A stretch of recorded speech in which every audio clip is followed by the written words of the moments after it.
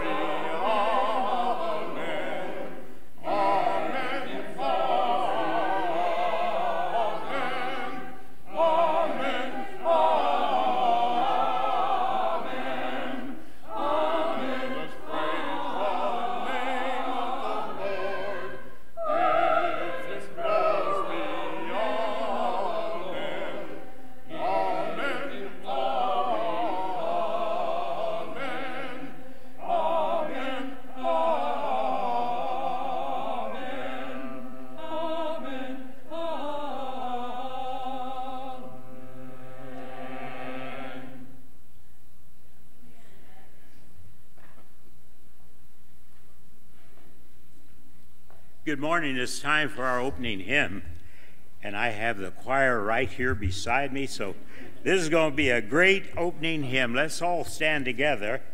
And the hymn, When He Cometh, page 218.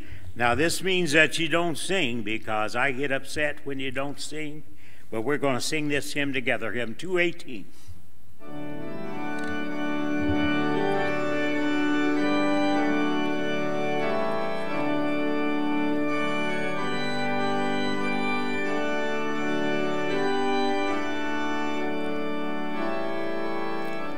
Everyone with me.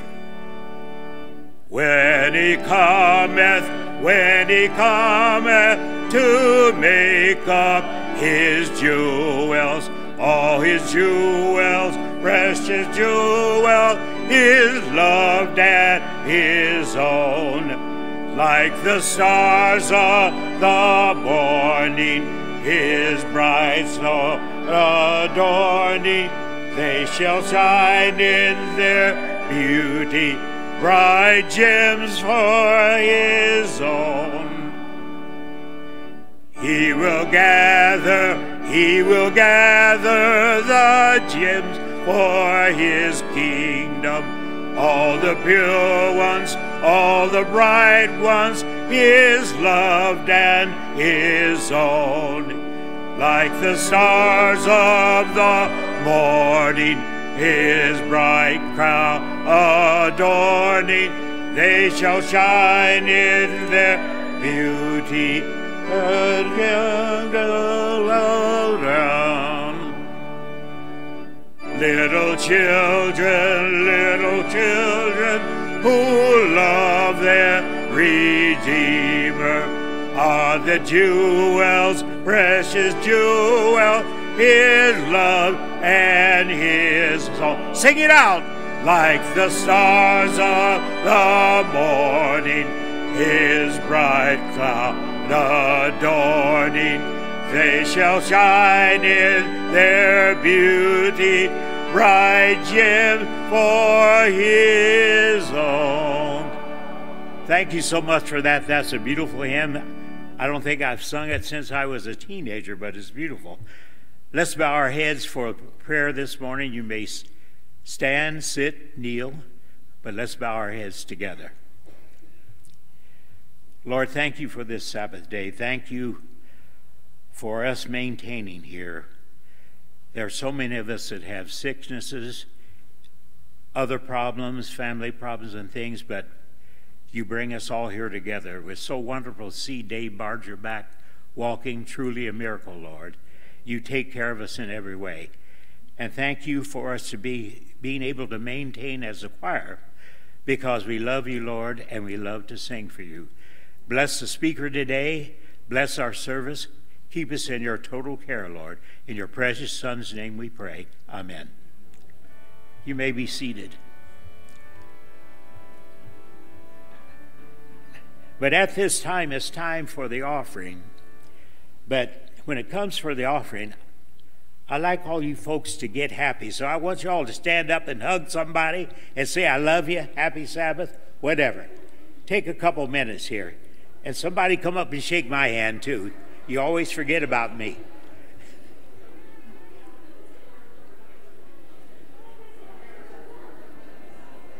Yeah, that's the way to do.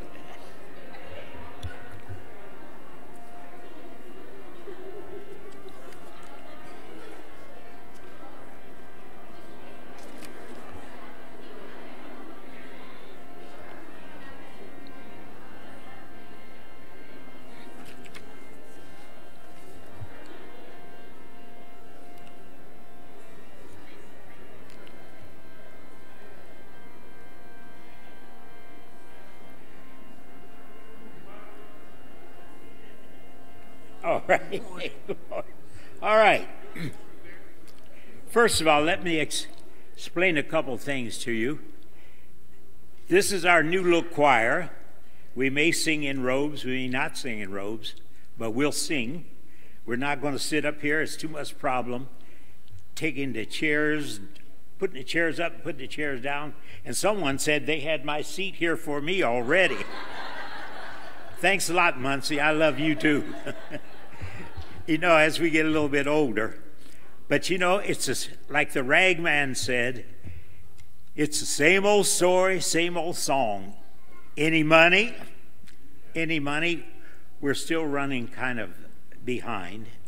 Uh, and like I used to sing that song, the weather outside is not so frightful, and all of you look so delightful. Our budget funds are still low. We need your money before you go.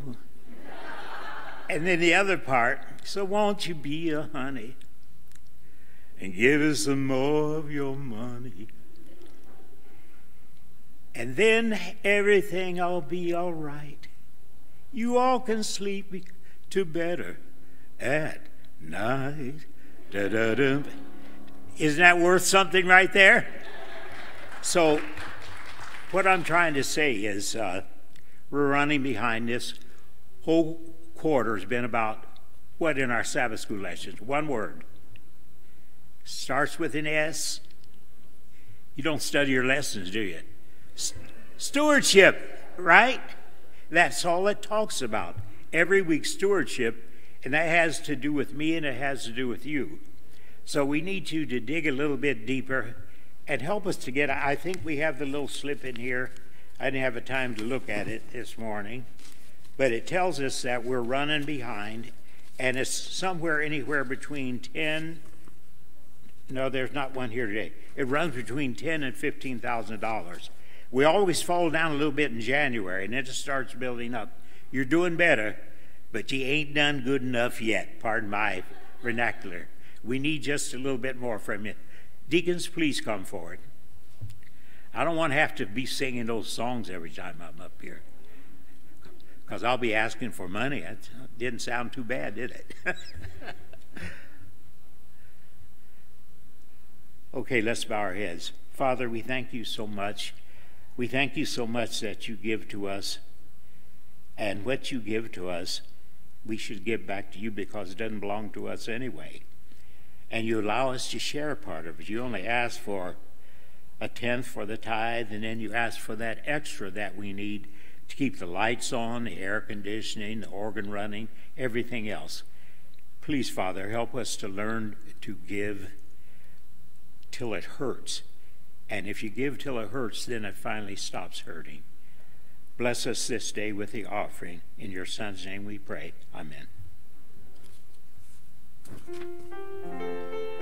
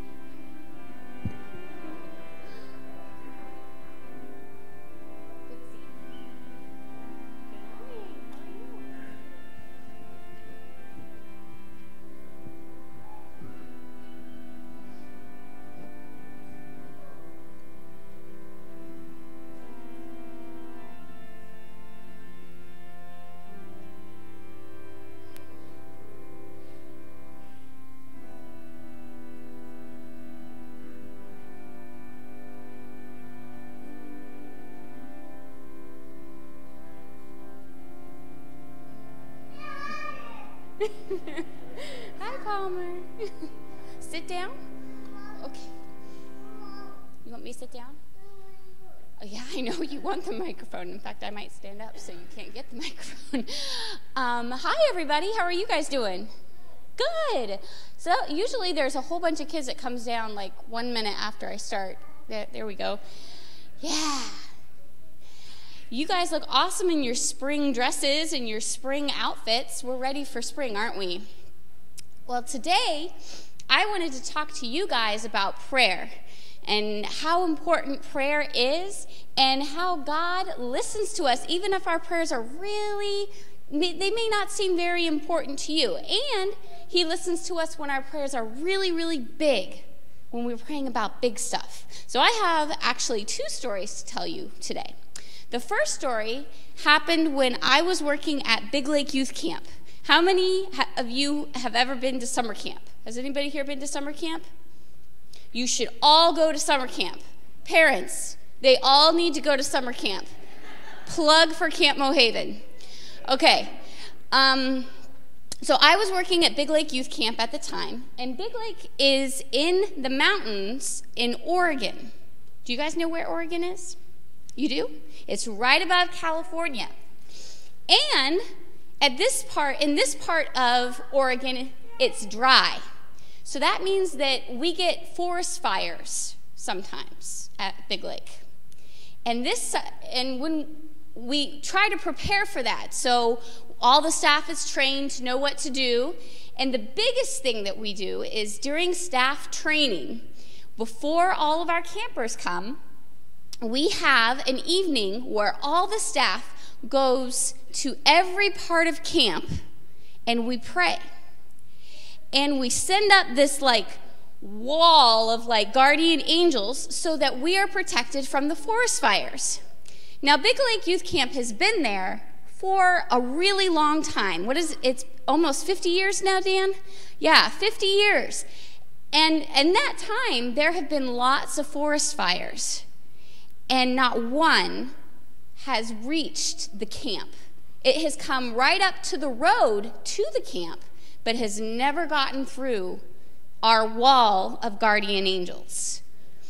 The last summer that I was there, we had a pretty bad um, fire, and we were all able to get out. We could see the, the ash falling from the sky, and there was smoke in the air. And we were all able to get out, and the camp was not touched, which is pretty amazing. And that's what prayer can do. Prayer can also be for little things. When I was little, I was about eight years old. My brother, over here, loved the Portland Trailblazers. Do you guys know who the Portland Trailblazers are? They're a, they're a basketball team. Do you know who they are? Yeah. Yeah, they're basketball players. When I was little, my dad used to take my brother and I to Portland Trailblazer games. And we would take turns get, getting to go because we only had two tickets. And one particular game, it was my brother's turn, and he wanted this basketball, and I believe it was smaller, and it had the Portland Trailblazer logo on it, and it was autographed by which player? You don't remember? it was autographed by a really big player. And Dan wanted it so bad. And he had been saving his money and saving his money and saving his money. And finally, the day came where he was going to go and get that basketball. And you know what? He couldn't find it. He couldn't find the money anywhere in the house. And we were looking and looking and looking and looking, and we couldn't find it. And I said, Dan, we need to pray. And he said, Heather, that's stupid. I'm not going to pray. And, and finally, he agreed, and we prayed. And we started to look again, and you know what? We didn't find it. We couldn't find it anywhere. So finally, we had to leave. And as we were leaving, we had to stop at the mailbox. And my mom got the mail, and Dan was looking through it, and he found a letter from my grandparents. You see, about two weeks earlier, it was my brother's birthday. And in that card was the exact amount of money he needed to get his basketball. So you see, God cares about big, big things like forest fires, He also cares about basketballs because you guys care about those kinds. He cares about what you care about. And if you pray to him, he's going to listen. All right. We're going to take around our offering. So if I could have you guys come over here and grab a little bucket, and everybody can get out their wallet now. Um, and we'll go collect our offering.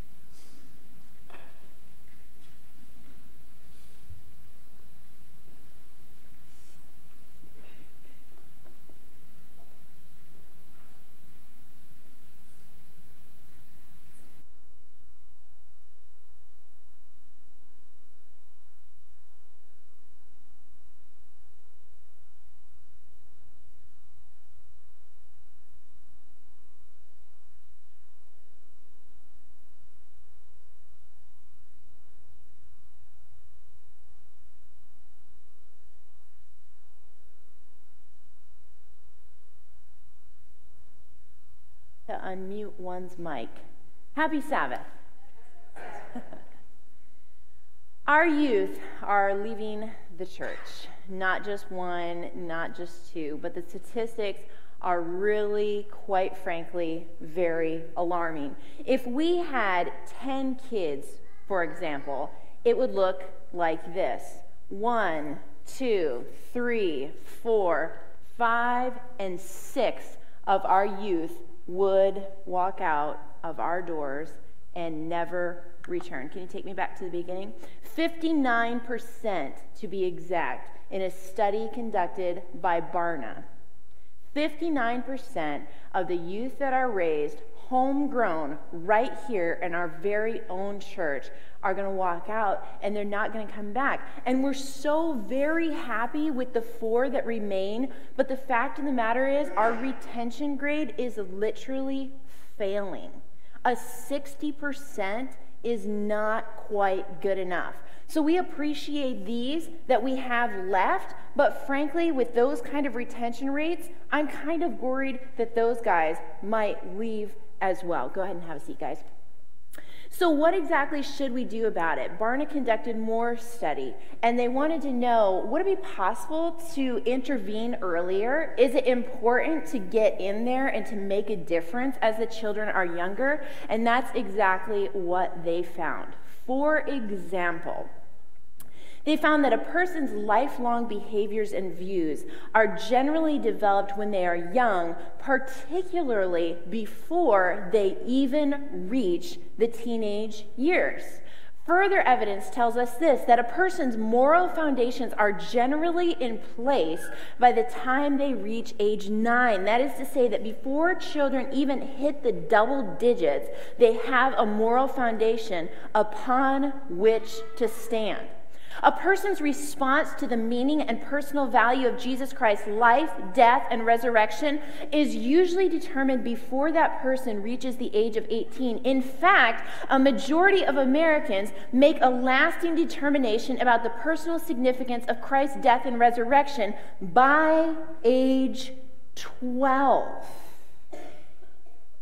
Don't play around with Easter, pagan holiday. Take every opportunity to talk to the kids in your life about the life, death, and resurrection of Jesus. Because they make decisions about these kinds of things early, so we need to make sure that they're exposed to the information early. Three, Barna showed data indicating that in most cases, people's spiritual beliefs are irrevocably formed when they are pre teens. In other words, what they found is that adults are really just little kids in grown up bodies.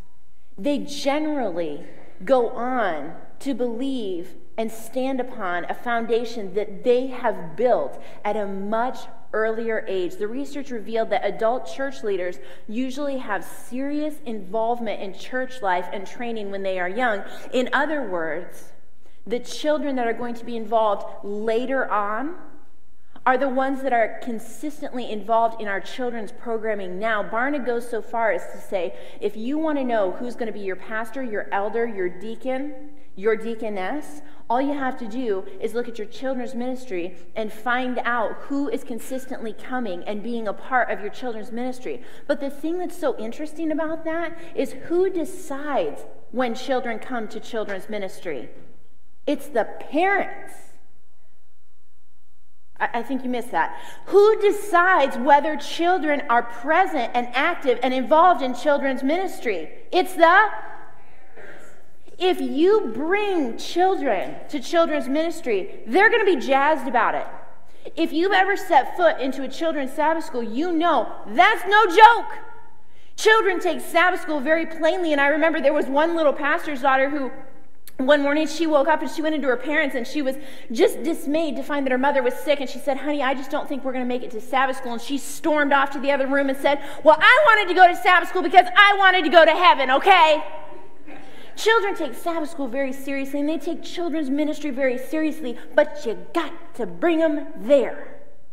Barna says in two decades, you just take a look at who's involved, who's active, and who is present now, and you're going to be able to tell who is going to be involved in the future. So, a couple takeaways from this information. Introduce Jesus early, introduce Jesus early, introduce Jesus often, and involve your children in church activities, church life, and church ministry. But the real question remains whose responsibility is it anyway? Whose responsibility is it to expose them? Whose responsibility, rather, is it to make sure that they have the right information at the right time that's age appropriate? And whose job is it to mentor our children anyway? I'm glad that you asked. 1964, a woman by the name of Kitty Genovese was a bartender walking home late at night, Queens, New York, headed home after a long day at work. She was met by an attacker who made his initial attack, got scared off by somebody, came back later, drug the, the whole instance out for about 90 minutes, and then finally killed Kitty Genovese. Now, that was very unfortunate. That's not the kind of story that I like to hear or even to tell. But the reason that that story became viral, as it were, in 1964 is because 38 people watched it happen. And it hit the newspapers, and it was presented in such a way like, look at all the people who were in their apartment buildings. They saw the attack and they heard her crying out for help, but there's only a few recorded instances of people who dialed the number of their friends and said, Oh my goodness, I think a woman is being brutally attacked right outside my apartment. What do you think I should do? And some people are being recorded as saying, Well, why don't you just come over to my apartment? Yeah, because that's going to stop him. I mean, 38 people. What were they doing?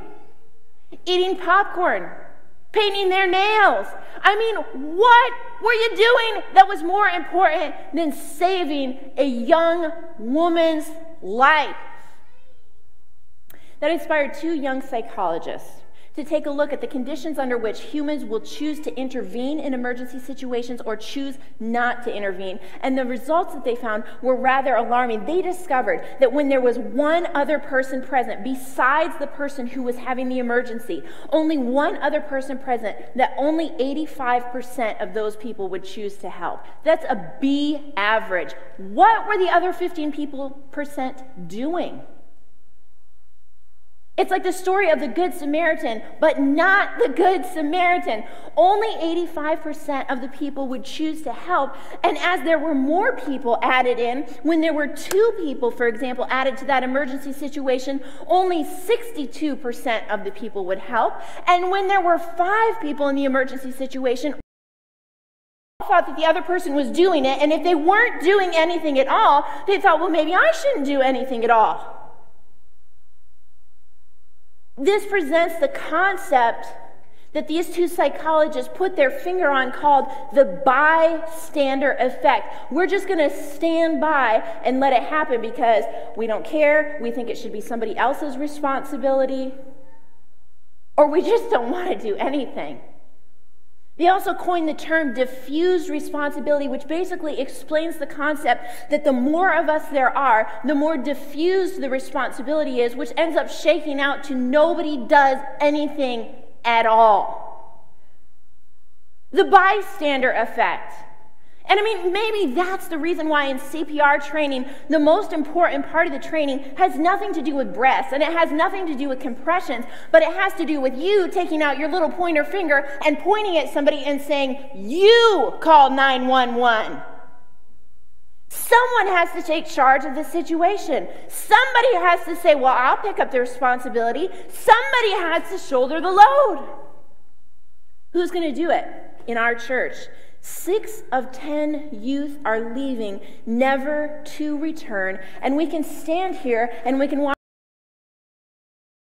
the bottom of whose responsibility is it anyway. The book of Deuteronomy, four lovely speeches that were given on behalf of God by Moses. And Moses is speaking very authoritatively because God has just called these people out from Egypt and they need to know the rules. They need to understand the concepts and the principles. They need to understand that God's laws are the basis of all good things. And Moses is speaking on behalf of God and he says, Listen up, this is the commandment. These are the rules. This is the statutes that God wants me to teach you. And I'm going to teach you because I want you to fear the Lord your God, not fear in the American sense, but I want you to honor and I want you to respect. And frankly, I want you to stand in awe of God. Not just you, but I want your son and I want your son's son to fear God as well. And, and he goes on and he says this Hear therefore, O Israel. And Moses starts to sound a little bit like a kindergarten teacher here because he starts to get very dramatic and he, and he starts to really call your attention over and over and over. And if you ever walk by in early childhood education class, you'll hear one, two, three, eyes on me. Everybody look at my nose. One, two, eyes on you. Listen here. What I'm about to say is very important. Please hear me. That's what Moses is doing because they are children of Israel after all. So he's saying, Hear, therefore, O people, be careful to do them, that it may be well with you. Hear, O Israel, the Lord our God, the Lord is one. Look around you. The Egyptians, they got a lot of different gods. They got gods that can go in your pockets, they got gods that can jump, they got green gods, they got gods that can croak and ribbit, they got gods that can meow and do all kinds of fun things. But that's not you. You're different, you're special. You have one God. You love him with all of your heart. And it's not the kind of love that you have towards pizza. You love God. And the translation hints at the fact that your soul should cleave to God's soul until it just like it gets so close you just can't even get it apart. You love the Lord your God with all your heart, with all your soul, with all your mind. These words that I command you today, they shall be on your heart. You teach them diligently to your children. You teach them diligently to your children. You teach them diligently to your children, and you shall talk of them when you sit in your house, and when you walk by the way, and when you lie down, and when you rise. You shall bind them as a sign on your hands, put them as frontlets between your eyes, write them on the doorposts, put them on the gates, put them everywhere. And when your son asks you in time to come, what is the meaning of this. That's when you drop the bomb. Personal testimony. Son, let me tell you where I was before I met Jesus. Let me tell you about the hell that God has brought me out of. And let me tell you how he did it. Because, son, The same God that did it for me, He can do it for you. When your children ask, you ought to have a personal testimony to share with them. Because if you don't have a personal testimony, you are not really a Christian. No personal testimony equals no Christian because every single Christian has a testimony. Some they're real sparkly and shiny and pretty. They got all the bells and whistles. There's the motorcycle crash. There's the bringing back from the verge of death. There's the drinking problem that God healed us from, and so on and so forth. Not everybody's got an experience like that.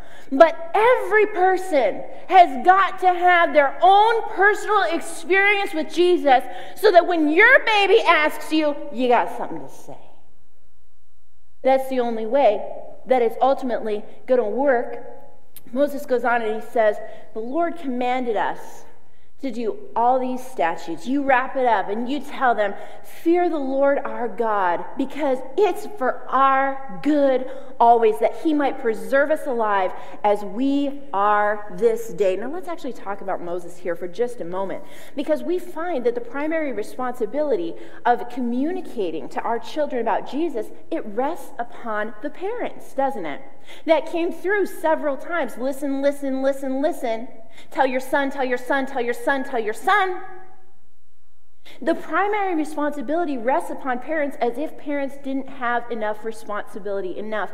I saw a slide the other day that said you know, back in the day, uh, all you had to do was feed your children occasionally, and that was a good enough requirement for parenting. Now you have to make sure that there's not enough screen time, that they don't eat too much GMO processed food, and everything is organic, everything is safe, clean, BPA free, all these kinds of things. As if there's not enough responsibility as being a parent. You remember having your firstborn child, and they wrap them up in the hospital, and it's like time to go. You got to go home, you got the nursery ready, you got everything packed, and, and you're packing up, and you're getting ready to go, and they're wheeling wheeling mom out of the hospital, I remember in that moment thinking, would they still let me leave this hospital if they knew I have no idea what I'm doing?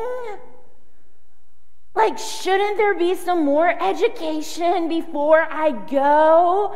Shouldn't there be some more instruction? Because you know, when you have a newborn, every single person wants to tell you how they will die if you don't do it right.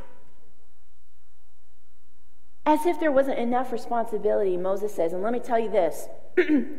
Feed them once in a while. But the most important thing you're ever going to do as a parent is communicate to that child about Jesus. You may not delegate that responsibility to another, it is yours alone. It's the parent. Moses is a perfect example of this, and here's the reason why. Moses was born in the time of Exodus chapter 2, and Exodus 2 was not a good time to be born. There was rumblings, mumblings, rumors that were going around that basically said there was going to be a deliverer that was going to be born. He was going to come, he was going to bust the people out of Egypt, and God be the glory, and all these kinds of great things. But that rumor reached the ears of Pharaoh, and Pharaoh didn't really take too kindly to that. This is around the time that Moses was born.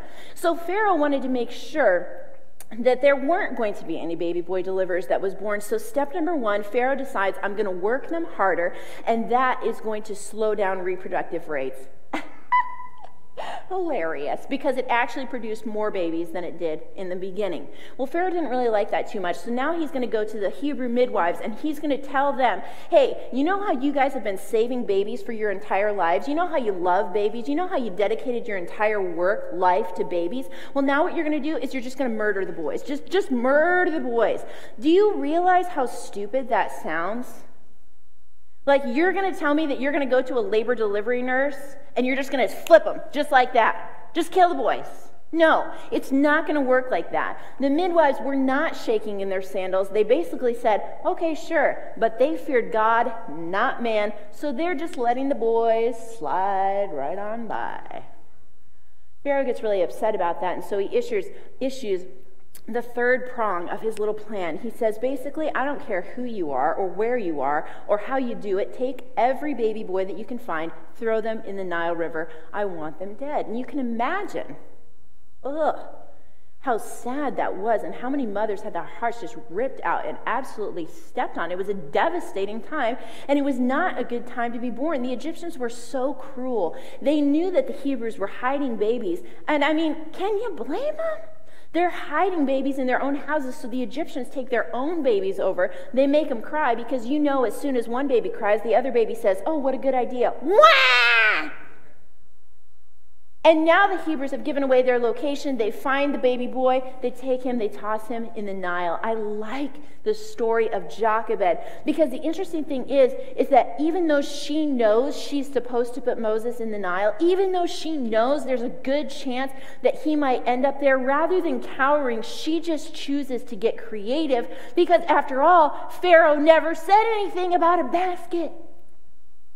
She technically follows the letter of the law because Pharaoh wasn't smart enough to think of all the loopholes. And so she makes that little basket with her prayers, with pitch, and with slime. She coats that thing within and without, and with every single fiber of her being.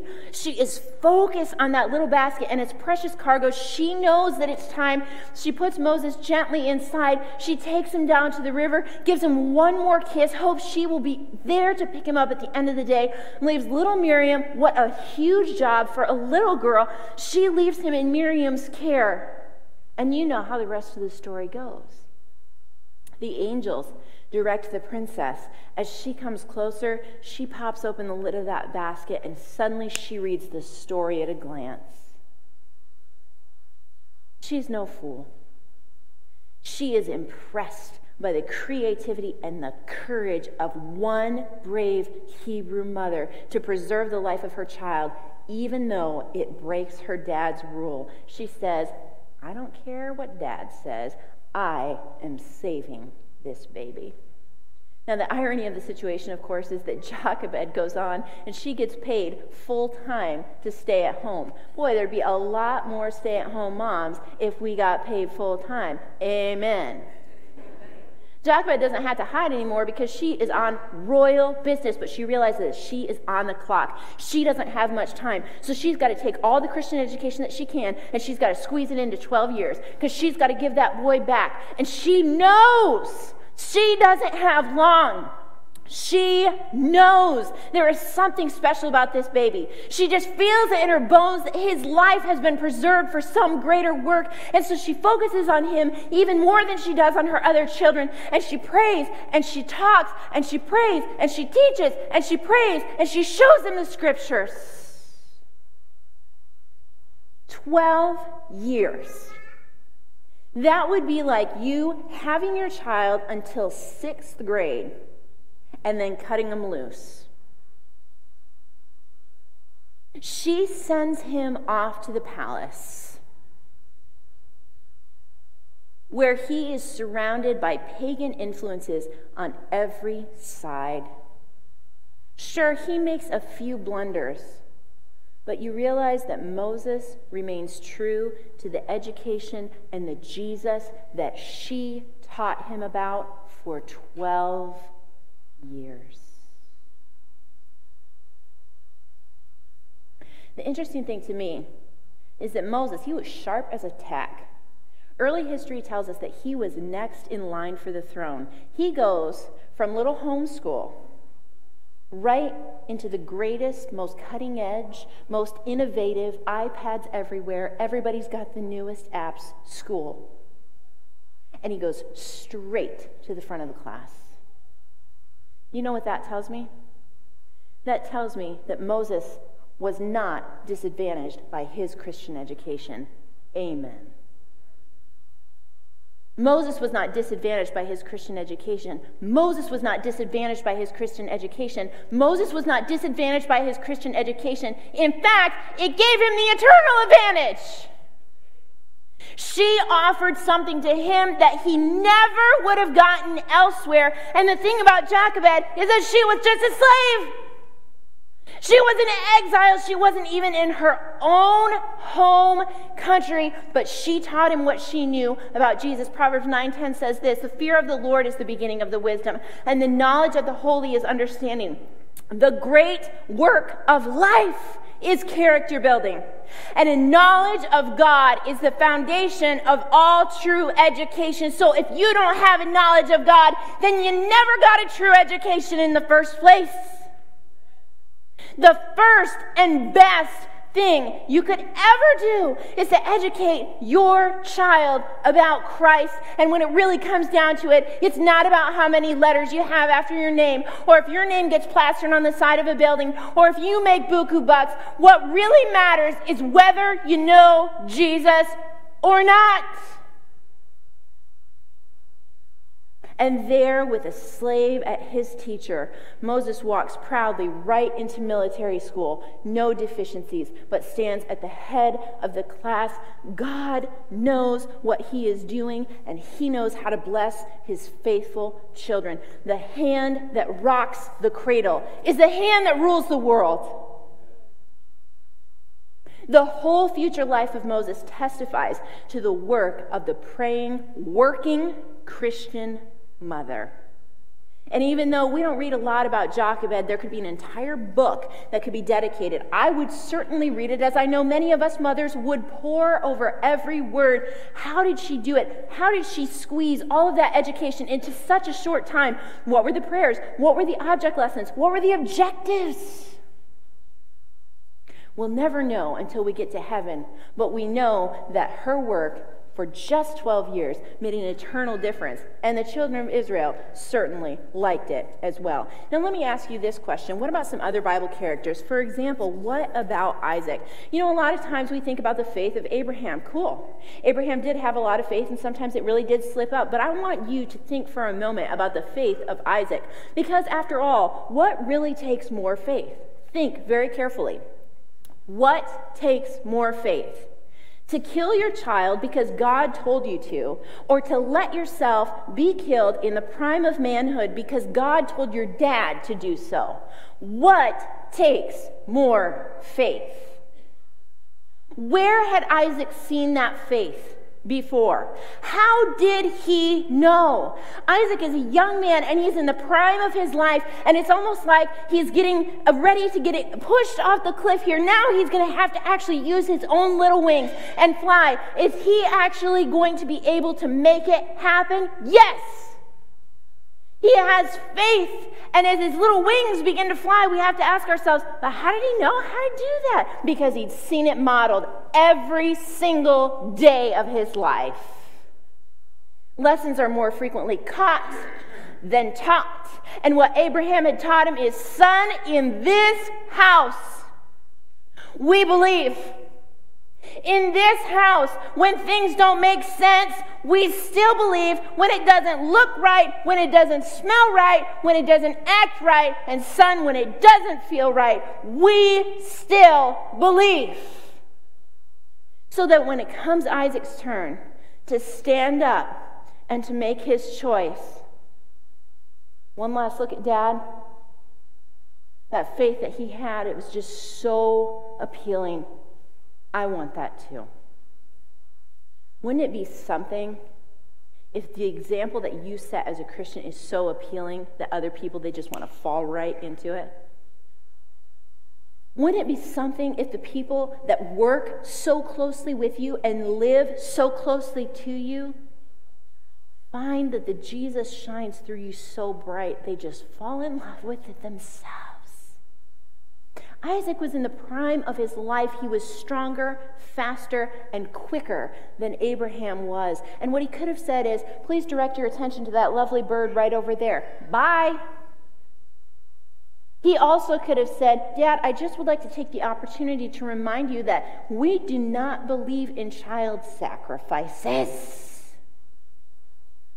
Isaac also could have said, You know, I would like to improve upon this opportunity here and remind you, you do have another son. And he is always complaining that he's not included in the family events. And this may be the perfect opportunity for Ishmael to just jump right in and to be a part of this little celebration. Or Isaac could have said, You know, mom is not going to like this. But instead, what Isaac said is simply this I got the faith, I'm willing. He'd seen it every single day. What about little Samuel? just a little boy. You remember the story of Hannah. She prayed so hard.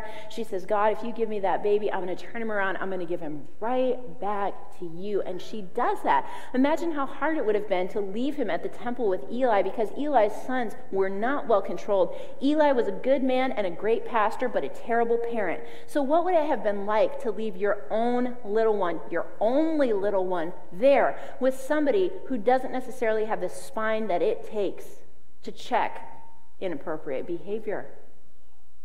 She prayed for that boy before he was born. But let me tell you something. She prayed for that boy after he was born as well. Children need our prayers. She has that baby. She rejoices. She drops him off at the temple. Little Eli, or little Samuel, rather, he starts going around. He starts getting mentored by Eli. Eli's showing him the ropes, how to take care of God's house. And Eli has the distinct privilege of being the first to say, Son, it's not me that's calling you, it's God.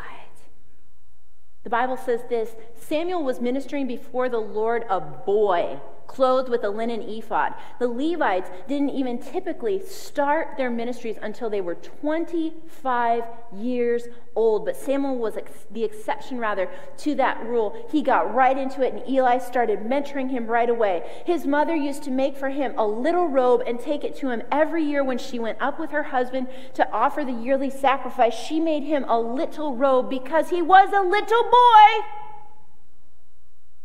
There's always room for children in our ministry.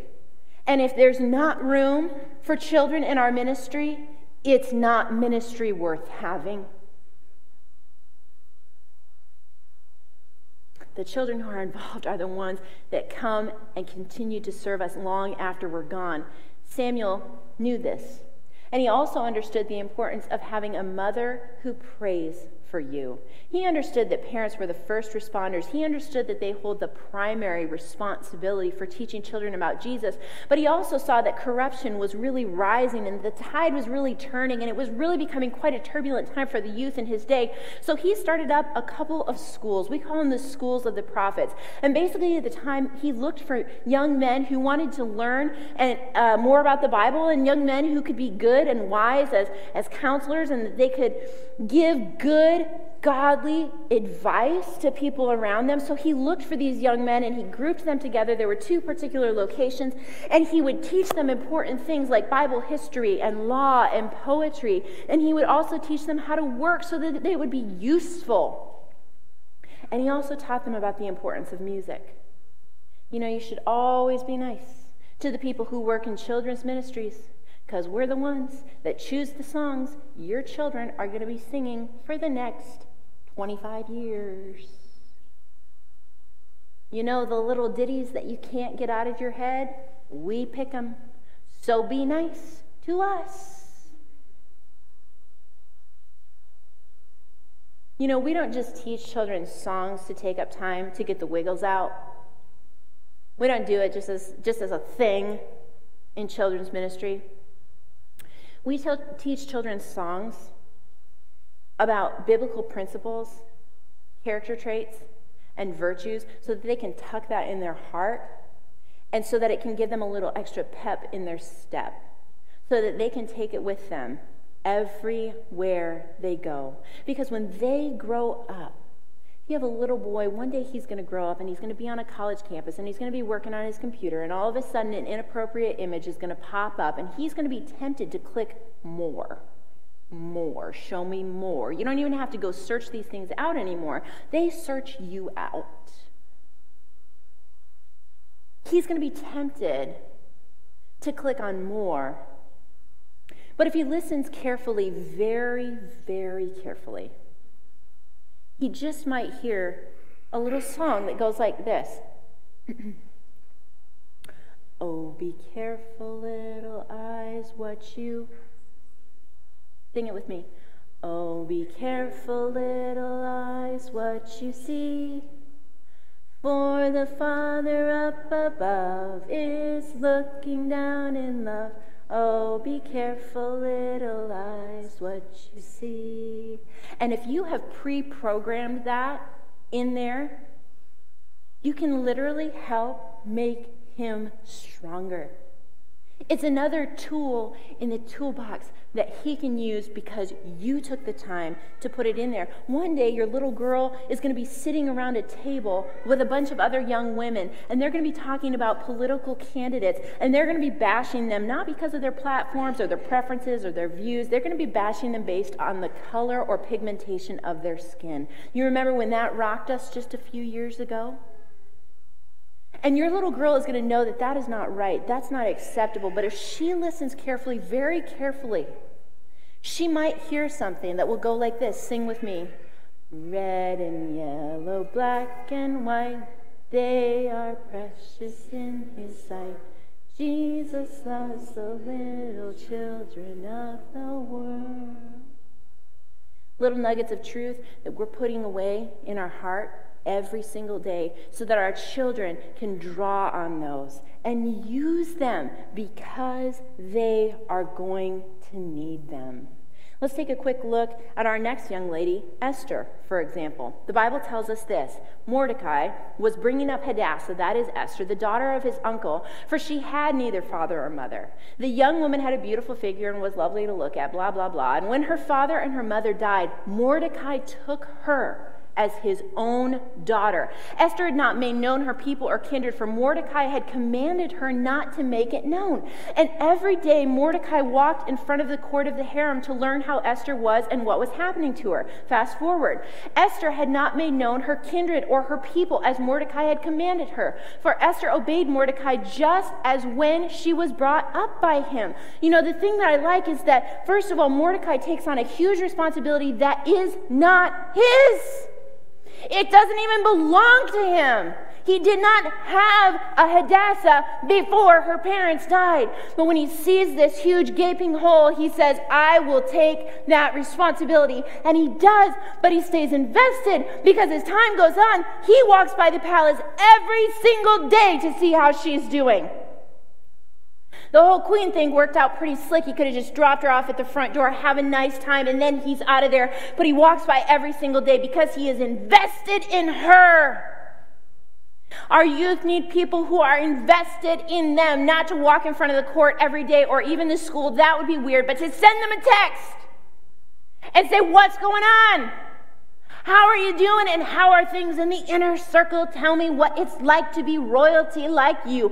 Mordecai stayed invested in Esther, and oh, what a benefit that he did because she was able to go on and she was able to save her people with his support. Boy, the foster care system worked a lot better then than it certainly does now. It's estimated that 120,000 are eligible for adoption today.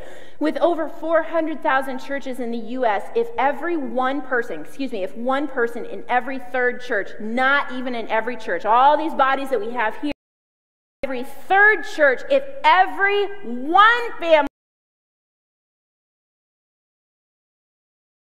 home, but sadly, every single year, 26,000 children age out of foster care without the support, guidance, care, and love of an adoptive family. And what they learn is that there is no place for you anywhere.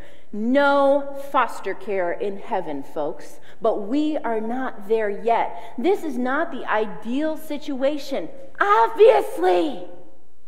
The ideal situation is for a mom and a dad who love each other, but Jesus Christ more than anything else, because it just follows that they would love Jesus too and teach their children how to do the same. But in the absence of the ideal, God has come up with a plan and He says, listen, you got a gap in the family, either physically, where there should be a man or there should be a woman or maybe emotionally, where there should be a man or there should be a woman, or spiritually, where there should be a man or there should be a woman. I am the father of the fatherless. I am the in my holy habitation. And The reason that I like this verse is because God says, when there is a gap, when you need somebody else to pick up the responsibility, pick me. I am ready. And it pictures God as being in his holy habitation where he is, and us down here on this earth. But wait, God is here too. God is interested and involved and active within our families if we simply ask Him to do so. You know, another group of young people who didn't have their parents around and needed God to pick up some of the slack was Daniel and his three friends. It's no surprise when we see them right off the bat in Daniel chapter 1. They're already talking about the food because they know better. Mom and dad have taught them that they can't be eating this garbage and thinking that they're going to get great results. So they say, hey, can we eat the better food? They stick together. It's Daniel and his three friends. No surprise, just a few chapters later, that we find them not only making it, but going uh, even exceptionally better than their pals. And even further on in the book, we find the three friends sticking together as thick as thieves right in the midst of the fire because not only was God supporting them, they were supporting each other. As our youth are leaving the church, sometimes it's a temptation for them to sit back and say, "Yeah, that's right. You should work for me. You need to do something for me." But the fact of the matter is is that youth, if you want more youth in the church, you need to support them too. Because we all know that youth are the coolest people that youth know. So youth need to hang out with youth. And in essence, they make a stronger support system. Another guy who was missing a very important and pressing role model in his life was Timothy. We don't know what happened to Timothy's father. We believe that he died perhaps when Timothy was very young. We know that he was probably Greek, so he probably really wasn't very interested in God, but for whatever reason, he was not there. Paul, later on in his life, takes little Timothy under his wing. Timothy is timid, he's shy, he's not cut out to be a pastor until he meets Paul. Paul takes him under his wing and he mentors him and he teaches him how he should behave and act as a pastor. And one time he throws this out in his letter. He says, You know what? I'm reminded of your sincere faith. Because it's a faith that dwelt first in your grandmother Lois and then your mother Eunice and now I'm sure it dwells in you as well. In other words, the way that your grandmother and your mother presented their faith was so attractive and so appealing that, Timothy, there is no way that you're getting out of that home without falling in love with Jesus too. Oh, we don't have a male role model. I guess we can't teach him how to be a man. God provided. Can you think of a better male role model than Paul? And Timothy became a pastor, changing hundreds of lives. Time fails us. We could talk about Ruth, for example, who was converted by her mother in law, or Naaman's servant girl. We know her perhaps as Little Maid from reading the little Bible stories, bedtime Bible stories there. She knew that there was a prophet in her town that could change Naaman's life, and boy, did he ever. So we come back and we ask ourselves the question who really is responsible for teaching our children about Jesus? Who is responsible for teaching our children about Jesus? And the answer is everyone. It doesn't matter if you're a mother or a brother or a father or a sister or a youth or an aunt or an uncle or a foster parent or a stepdad or a stepmom. It just doesn't matter. Everybody has to do it.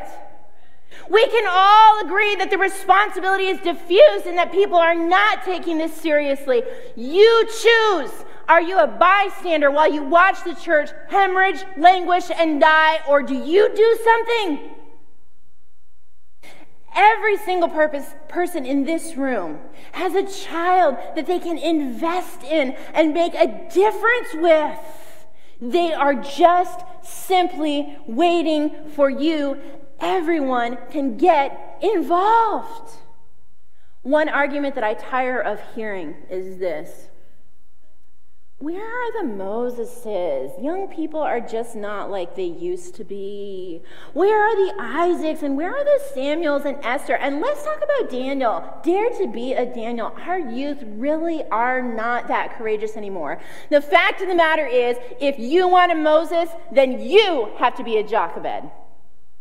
If you want an Isaac, then you've got to have an Abraham. If you want a Queen Esther that will save us, then you must be a Mordecai. If you want a Timothy, then you got to be a mom, a grandma, a mentor to make sure that it happens. These children were not accidents, they just did not happen. These are the children that were born of prayers and effort and tears and labor and obedience lesson after obedience lesson after obedience lesson. There is no lesson that is lost on the Christian child. Every little battle that you have with your two year old, you may not sit there, you may not jump on that, you may not eat all of the cookies. Every single lesson is a lesson in obedience. It is teaching children that when you obey, there is happiness in this home. And when you don't, there is no happiness. Because when they get older, they can realize that when you obey God's rules, there is happiness. And when you don't, it's just not there. Who is responsible? Who is responsible for communicating Jesus to our children? It's all of us. Hmm. I was a junior in college at Southern Adventist University. I knew everything there was to know. Do you remember that time? I had coordinated a worship at an Alzheimer's care facility. Very eye opening experience. I was not prepared for what I was going to see there that day. It's Christmas time. We're going to tell some stories. We're going to mingle, provide some healthy social interactions, sing some songs, to do the works. We got there. Some of the residents were waiting for us. They were laughing. They're sitting in their chairs. They're joking with each other. They're joking with us. Having a great time. We start up the program. Out of the corner of my eye, I see a nurse who's bringing down a woman who is obviously very frustrated. She's very uh, just unnerved. She is just not having a good day. She's wearing all blue. She has bright blue eyes, but you can look at them just one glance and just tell that nobody is home. You've seen that before? And for some reason, I just fell into those blue eyes on this particular day. And I just began to wonder what would it be like to have a healthy body and an absent mind. What would it be like? I mean, did she have children? Did they love her? Did they come and visit her? Did she have a place to go on the holidays? I just didn't know. My part in the program ended. I went and I just sat at her feet. They had gotten her to sit down. She's sitting at this chair. She's folding the magazine. She's unfolding the magazine. She's folding the magazine, unfolding the magazine, rocking back and forth, back and forth, back and forth. I tried to ask her her name. She didn't know. So I just sat.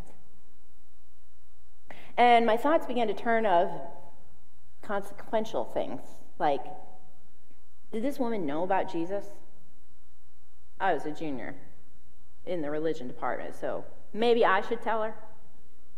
But at this point, you know, where the doors closed, would it be upsetting? New material, Maybe I should just let it be. But I began to wonder what was her eternal destiny and where was she going to be? Would I meet her again? Would she be able to tell me her name? The program started kind of winding up, and then we decided that we were going to kind of conclude with a classic Jesus Loves Me. So we started, and a lot of the residents knew the song, and we were singing, and I was just sitting there, and I was just kind of lost in my own thoughts.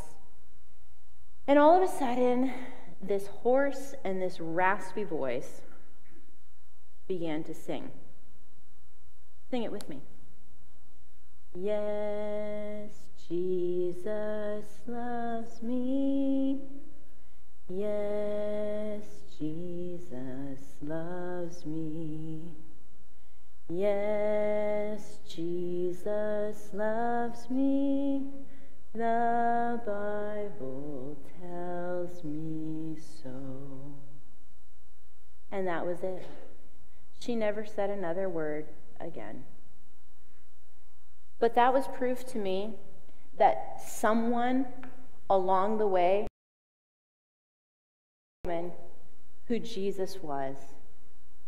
And they could have never known that her life would come to this and that she would be in such a situation as this And I don't know if it was mom or if it was dad or if it was a youth pastor or if it was a chaplain or if it was a friend or if it was a late conversion in life.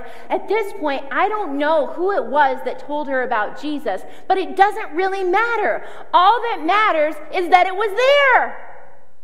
Someone, somewhere, had indelibly etched that onto her brain so that even though she had come to this place in life where she couldn't even remember his her own name, she could remember his. Doesn't matter who it was. All that matters is that someone took the responsibility and taught her about Jesus if time shall last that long, and your children experience the same thing. With memory loss, what is it that you have drilled into their heads? Brush teeth, brush teeth, brush teeth. Others first, others first. Socks and then shoes. What is it that you have indelibly etched into your children's mind. And, and this comes down to the hard part of the service because some of you are thinking about your children that have gone wayward. And if you've ever talked to a parent with a wayward child, there is nothing heavier. It's hard, isn't it? You know, children, the funny thing is, is that you do the best you can but they ultimately make their own choices. If they think that ketchup would be good on apple slices, they will at some point try it. And that's the hard thing as a parent that you have to let them do that. But if you do your best, you improve on every opportunity, you give them every advantage you communicate as effectively as possible, then you have done your due diligence.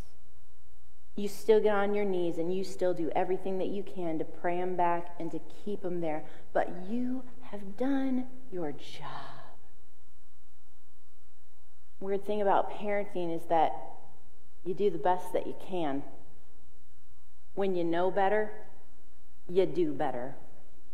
But parents, I'm convinced they do the best that they can. But when you're doing your best and you ask God to work through you, that's like the bestest you could ever have. Will you take responsibility for the situation that's happening in our church today? Will you pick up the slack Will you take the responsibility? Will you be the mother, father, brother, sister, friend, aunt, uncle, third stepsister, half removed 17 times? Will, will you be someone to a child? Will you get involved in our biggest evangelistic campaign here on this campus? We call it VBS. Can you help? Can you maybe throw a dollar in the plate for the youth that are trying to go on a mission trip and make a difference in other people's lives? Can you help at Children's Church by making snacks and singing songs? Are you capable of saying, please sit down, face the front, don't lick her socks? Can you help? Can you take some responsibility for the children that are right here so that the statistics that we lose six out of 10, can you take responsibility? Help us, help your children stay here. Would you take that responsibility? That's the question that I have to ask for you today. I want you to think about it as we sing our closing song today, I'd like to invite you to stand and to sing with us, please. Number 653, 653, very fitting for today. Lead them, my God, to thee.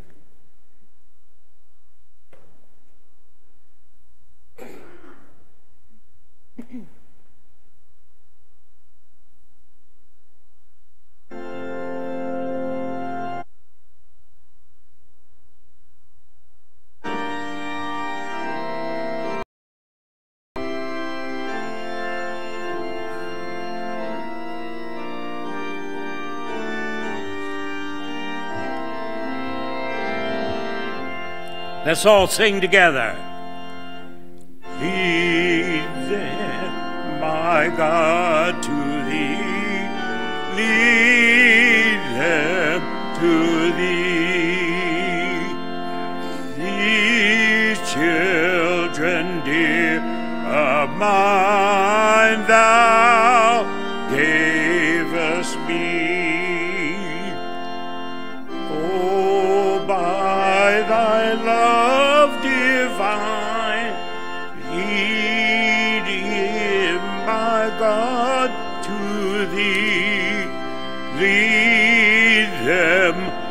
my God, to thee.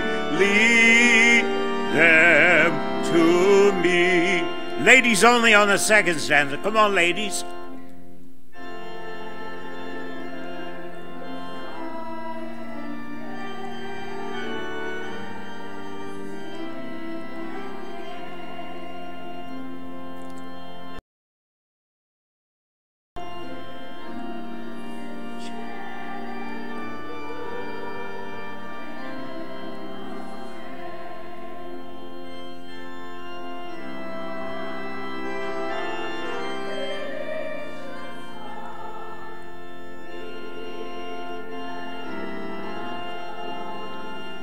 Everyone, lead them, my God, to. Lead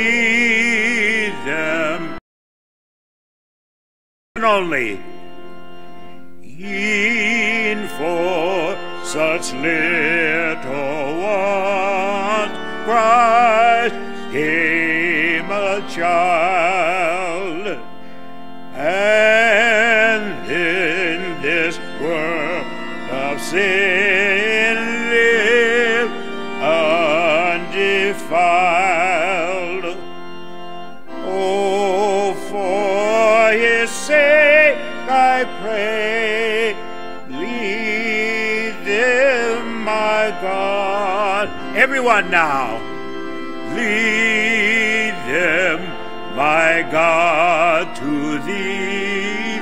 Lead them to me. Last stanza.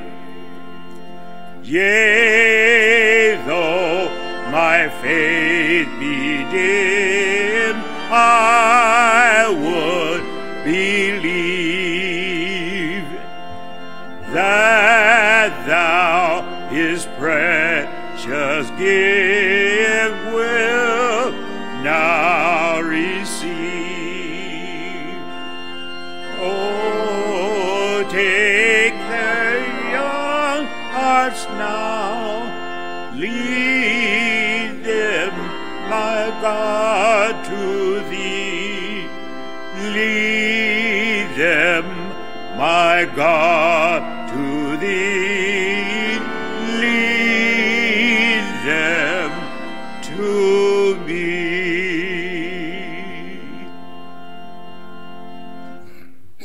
together. Heavenly Father, we ask you for the many times that we have shirked our duty and our responsibility. We ask that you would help us to remember the importance of our children. Lord, we thank you for sending your only child to come and to die on a cross for us. We ask that you would be with us now. Give us the strength, the courage, the wisdom, the insight, the discernment that we need to raise your children and to guide them to you. I ask this in Jesus' name, and all God's children said together, Amen.